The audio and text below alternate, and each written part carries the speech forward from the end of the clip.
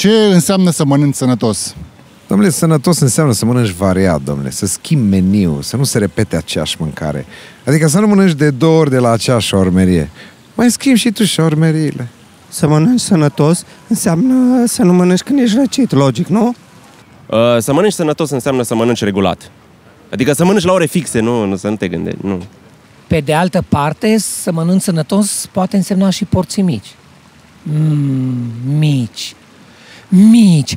Cum ar fi un abonament lunar la Mititei cu muștar nelimitat și felii de pâine incluse? Domnule, eu am fost cu una care îmi zicea că gătește sănătos.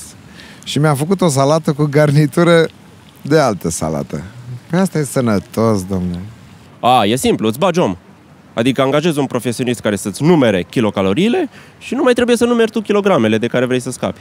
Să mănânci uh, cât mai variată, uh, să mănânci de toate. Și dacă nu poți de toate, măcar cu de toate. Șaorma, logic, nu? Cea mai sănătoasă mâncare e, e aia cu care nu te stresezi. De exemplu, să-ți vină, știi, pe tavă. Vezi? Revin la ideea cu micii, cu, sau, mă rog, cu altele.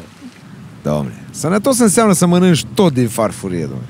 Păi ce ar zice copiii aia din Africa, săraci, care nu mănâncă nimic?